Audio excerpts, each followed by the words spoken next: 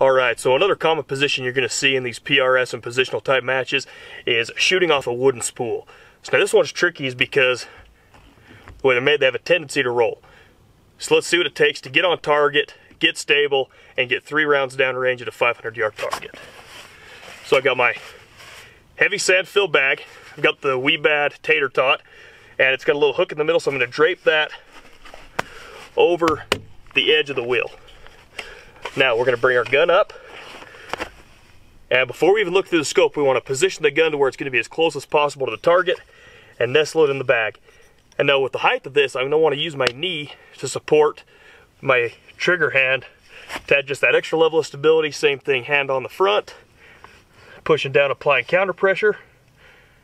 And we're going to kind of push into this barricade a little bit to give us a little bit more stability. So we're going to push forward.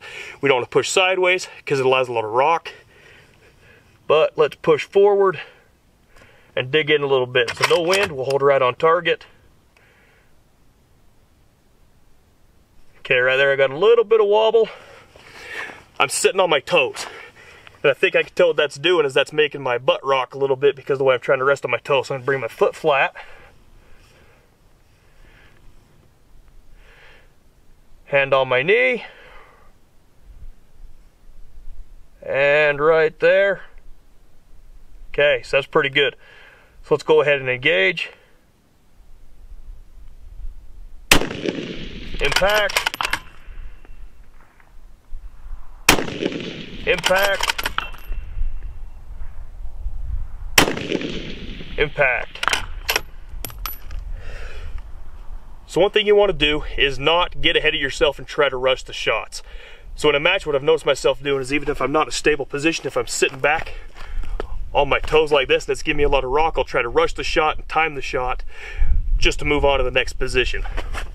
You want to make sure, that's why you want to come out and practice and do this and find what position works best.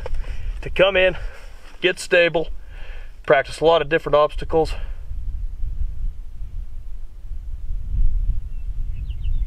and find out what gets you the most stable and what's going to work.